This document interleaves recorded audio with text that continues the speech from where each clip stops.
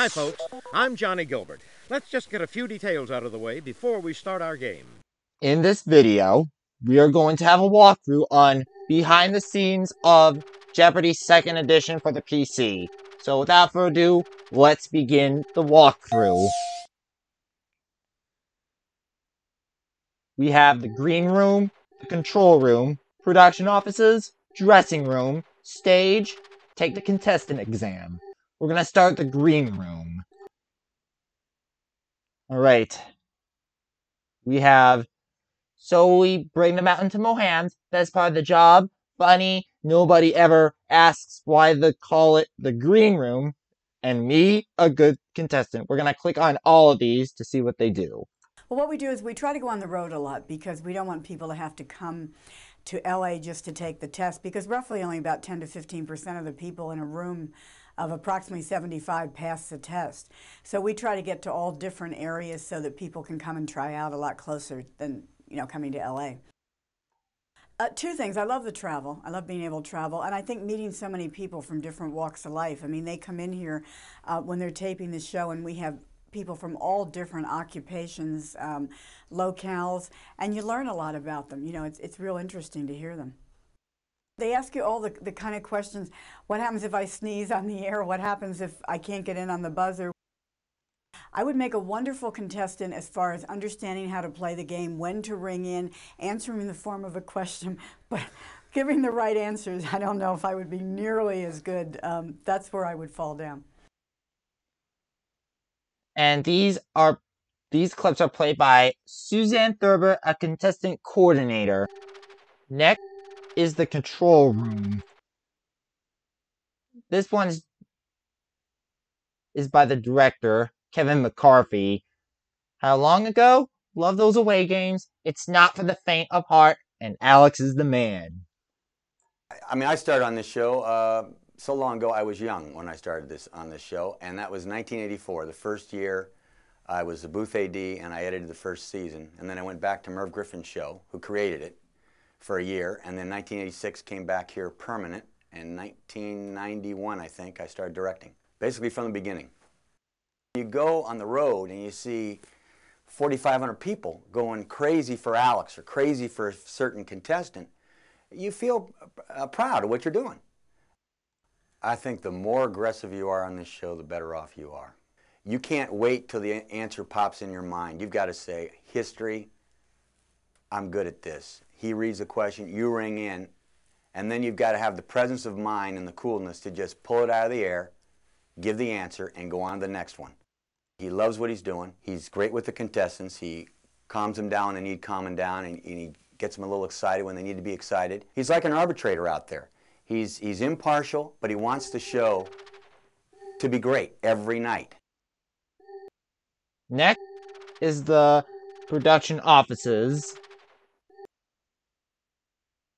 We have two options. Harry Friedman as the executive producer and Jim Lyman Gary Johnson as the writers. We're going to start with Harry Friedman.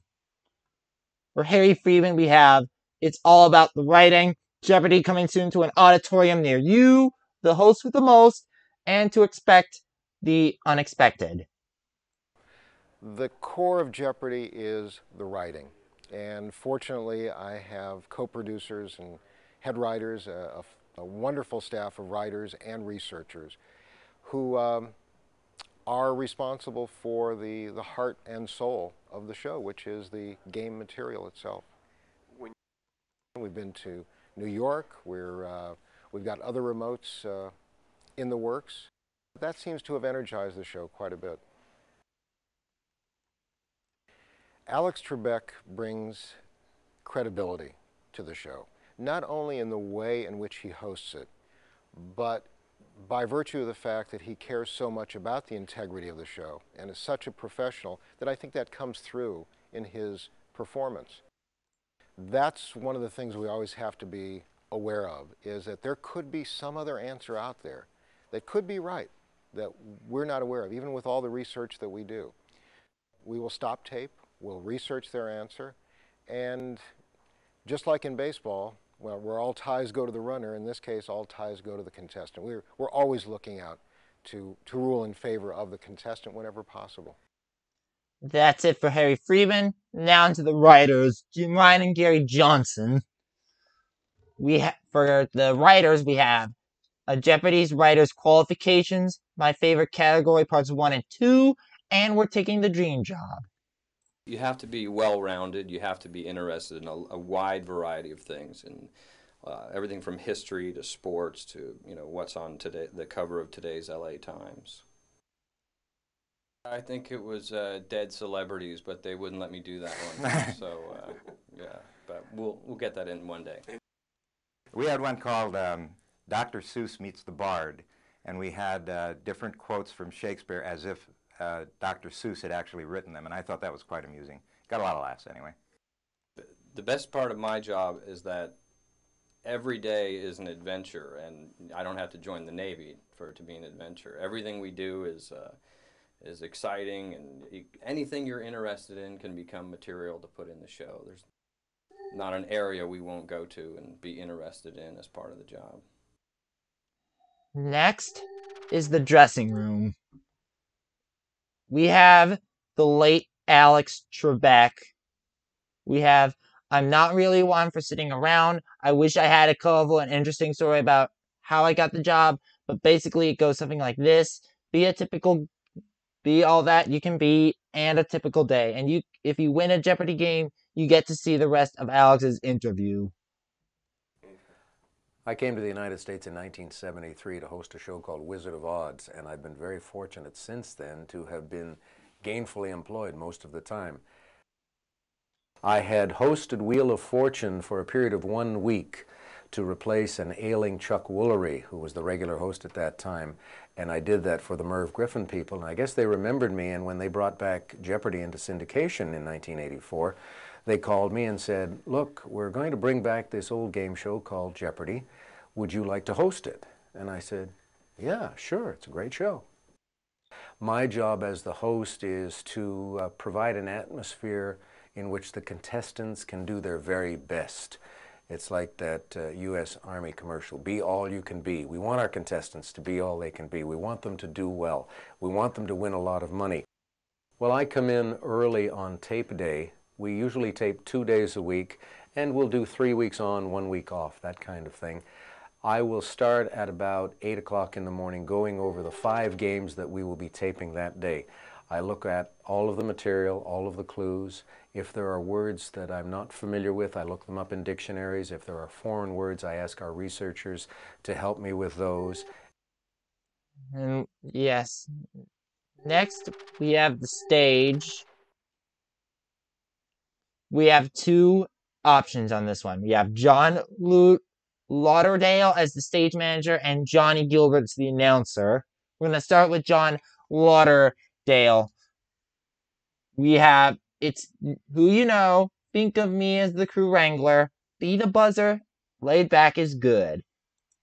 I met some of the celebrities, including Clint Eastwood and uh, Merv, and uh, from meeting these people, I ended up uh, expressing an interest that I wanted to come to Hollywood and work. There are certain responsibilities that uh, the stage manager does by making sure all those elements are, are in place, looking at that schedule, and when it comes time to tape a show, make sure that everybody is in its place. And I get on and I, on my headset and I can tell the director, I say, hey, we're ready, let's go. Now, the lockout device can be your best friend or it could be your worst enemy. If it's your best friend, uh, you see that there are people who, uh, who, who operate that, that button with such ease and they uh, manage to get in all the time.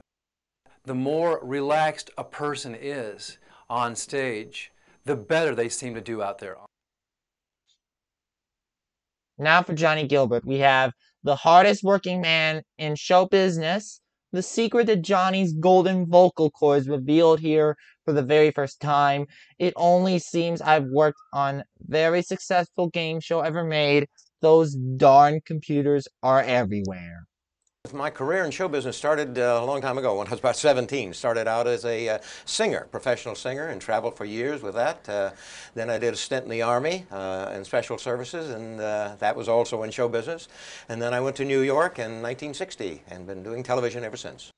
I worked as a professional singer for several years and That helped me an awful lot, by the way, in television because I studied with a uh, classical singing uh, teacher, and that helped me with the breathing and how to use the voice. And so I did The Price is Right with Bill Cullen uh, and did uh, several different shows there, one with Bert Parks, then uh, called Yours for a Song, uh, and then I worked with Dick Clark on the $25,000 Pyramid, John Davidson on the $100,000 Pyramid, did the Dinah Shore program for eight years, and of course uh, Circus of the Stars and People's Choice Awards, and I've been doing a show for the last several years that the kids really love called Supermarket Sweep, uh, along with Jeopardy! Uh, the original Jeopardy, for instance, they had people standing behind the board raising cards to reveal uh, the responses. And now we have about nine different computer systems that run the show. And the final option is take the contestant Hello, exam where and you. I'm Alex take a Trebek, and I want to welcome you to the take a Jeopardy test on exam. being a Now, in some ways, contestant. this is tougher than the actual show because there are 50 questions in 50 different categories. Fortunately, you don't have to get them all right. A score of 35 or over is considered a passing grade here. So good luck, and I'll talk to you again after the test. Hi, I'm Johnny Gilbert. I'll be reading you the questions for the Jeopardy test. As Alex mentioned, there are 50 questions in all. Good luck. Let's get started. The Grammys. In 1997, Yeah. The only way to get out of it is pressing escape. That's it for the behind the scenes walkthrough, and I'll see you guys in my next video.